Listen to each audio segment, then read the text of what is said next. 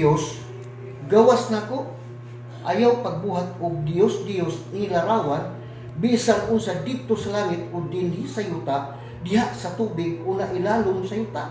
Ayaw pagyokbo di bisan unsa nga Dios Dios ni magsimba nini.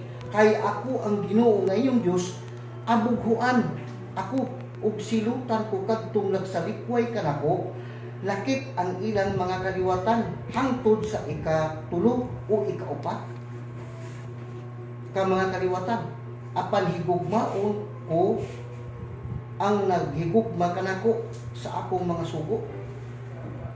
So karon balikan nato ang ilang atake right? ang Ginoo sa Biblia ayaw pagbaton og lain nga Dios gawas nako. Karon mangutan ako ninyo. Kung magbaton kog larawan kay nag-ingon man Dios ayaw pagbaton og larawan gawas nako kung magbaton kog larawan ni Kristo unsa man ang eksakto na oh, dili nga nag-ingon man diri ayaw pagbaton og lain nga Dios gawas nako kini nakasupak ba sa Biblia? O napauyo na itong Biblia?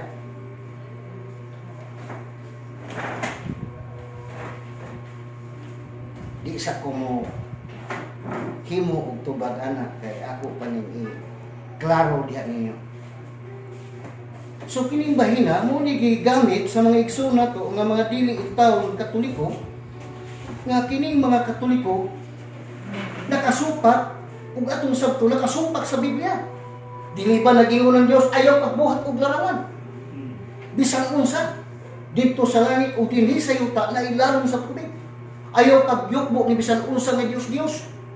Kay ako nga Ginoo abughuan. Sama pananglit. Bulog ko sa pitaka ko sir. Kanya kong pitaka hiniktan ni kasi lang ni gawas ba? Mabaw kayo ang yang what? sama sa akong pitaka, muingon na akong asawa, ayaw pagbaton og larawan, nga dili para sa kuan. Ang akong gibuhat, nagbaton og larawan para sa iya. Ang akong larawan, napod siya. Pagkakita sa akong asawa, kana mo iba na. Wala yung ko laing nakita nga larawan, nga nasa pitaka, gawa sa kuan. Ang simbahan, dunay mga larawan.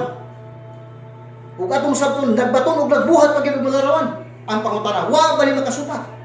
Ang gingon sa Biblia, klaro kayo, ayaw pagbuhat og Dios-Dios. Gawas na to. Sa tupa, diha dahil sa punto nga ayaw pagbuhat og larawan nga dili para siya. Ang simbahan nagbuhat para gyud siya. Tama dire. So wa gyud makasupak ang simbahan katoliko. Ari kas mga santos. Ug labi na gyud sa inahan nga si Mama Mary. Kini ba yung pagbuhat na larawan para kang Mama Mary? Wa pa ni makasupak sa kabubuton sa Dios. Wala. Nga naman. Kay nagbuhat og larawan para sa iyaha. Si Maria, nga inahan ni Kristo. Makasupak ba di ay kung magbuhat kag larawan kang Maria para sa iyang anak na si Kristo? Tingog sa mo. Humong pa na. Atong mabasa diri sa kanang gitawag Kolosas 1.15. Nagpunting man eh diri sa gitawag Kolosas 1.15. Mo nang diha sa lantugi sa pangutana kung wala ba makasupat ang katoliko, wa gid makasupat. Kay nagbuhat maglarawan nga para sa iya. Sama sa akong gibuhat, nagbaton kog larawan diha sa akong kaminyoon, di jud ko magbaton og laing mga larawan. Labi nag mga larawan, yan ang mga gwapa. Kay makasupak sa akong asawa. Nagkaigwapa ko ako asawa. mo nagibutang na ko sa akong pitaka para pagtanaw sa akong asawa, wa gyud day ko laing larawan. Siya gyud ang akong larawan, mausa na ang Dios. Lain man kabran. Mura man kag masuko. Wa akong hubra na. Kulusas 1.15. Pakita sa doon na usam ni kulusasan niya. Di man magpakita. Ito na lang. Yan! Si Kristo ang larawan sa Diyos. Oh, tanahawa ra. Pero mas nindot yung mabasa.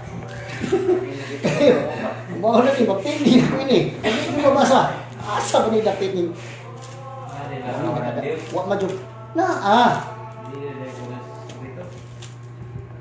Uy, asa man yun nga kung dyan ako madato isa na ko ka Biblia ba. Nadali na yung pagkatao. Dalas yan na, magalas yan. Ang problema, ang kulusas man yan, ah. Ah, nakitaan ko ra. Ah, dara, ingon dire. Kulusas 1.15. Ingon dire, oh. Kulusas 1.15. Si Kristo mao ang makita nga larawan sa dili makita nga Dios. Tumpak. Sa to pasakto gid gibuhat sa Katoliko. Wa gid magbuhat-buhat ang Katoliko nga dili muhaon sa simbahan Katoliko. Wa gid ni makasupat. Mga larawan sa apostoles. Nan kanus man na mahitabo brad nga nagdios-dios ang Katoliko. Kung doon na mo gunit ni Pedro ug mayon, ikaw Pedro, ikaw na karon ang akong Dios ug wa may labot si Kristo. Tama nila. Manuyo, hindi mo muyon ba? O klaro kayo na pag-iksoon. Nga niya ang punto ha, dali-dali unta lang, nga wagid makasuta ang, ang simbahan katoliko. Kaya ang gi, gikasutan sa Dios kanang gisulat diya sa kanang gitawag Roma 1.22. Nga ningon, inay simbaho nila ang Dios nga walay kamatayo. Nagsimba inon sila sa mga mananap nga nagkamang sayuta sama na na karong baka. Kanang baka ihaw nun raman na. Anong sibaho na nimo? Sumo ni kasukan sa Dios. Sa tuka, kining gibuhat tanan sa simbahan. Mga larawan sama na sa larawan ni Mama Mary. Larawan sa apostolis na si San Pedro. Uban pa mga apostolis, uban pa mga santos. Wa gina mahitabo nga nakasuka sa kabubuton sa Ginoo kana giingani ko lang ni kay mubo ra kay oras. Di diretso diretso ko lang ni. Unya ang simbahan pod mas tigway Biblia makabaruta kay dunay tradisyon. Ang tradisyon may maghatag og puso na lang simbahan na. Kana mga simbahan nga way tradisyon dili ka na makabarog kung walay Biblia. Pero kini katoliko makabarog ni maski wala ni kay kini produkto simbahan. katoliko reklamo nila. Mo nang ayaw gyud mo pagsipyat sa katolikong simbahan kaya ang, sip, ang simbahan katoliko nagtudlo sa insakto. Natay mga larawan tungod kay dunay gilarawan. Maingon usa nga duna kay larawan tungod kay gusto sa kay nga magpalarawan. Ang Dios pakaha mo na nga diri pa lang sa Exodo kung imo lang basahon ayaw pagbuhat o pagbaton og lain nga Dios Dios gawas na ko sa to pa sa diri pa lang entrada pa lang ano magbuhat magyug ako na lang yung buhatan. Ha? Pero di pa man makabuhat ang tao kay wa pa man ang Dios magpakita ang ikanong persona sa wa pag ni hulma lang na nakabuhat lang ang simbahan katoliko sa dihang nagpakita na ang ikadawang persona nga mao ang atong Ginoong Kristo. Palakpak ka na itong Ginoo kay mo wa gid mo palakpak ba. Mao na diha ang ligon o insakto nga pagpanudlo diha sa Santa Iglesia Katolika Apostolika Romana. Nga kining mo gitawag pagtulunan kining gitawag larawan kisa may way larawan yun niya. Puro yun na larawan kaya bisag talaga na sumundag wala ni hulman ng larawan na? Nakita na ko ang pagkaanindot o pagkalangit sa inyong panagway malalaki man o babae na agayon naghulagway niya ang larawan ni Kristo diha sa tong kasing-kasing. Lapos na gikan sa utok padung sa kasing-kasing kay kung gikan dire muhol man niya padung diri mo gawas dila bakba. Wa gyapon pa. Man paghulma diri sulo diri. Paggikan diri mo sulo diri sa mara mo na makakita ta. Huh! Nanong karon pa man ako pakatawa. Labi na makakita mas labaw pa. Ha!